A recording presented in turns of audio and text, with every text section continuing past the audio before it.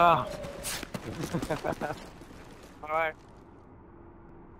I don't even know what I did.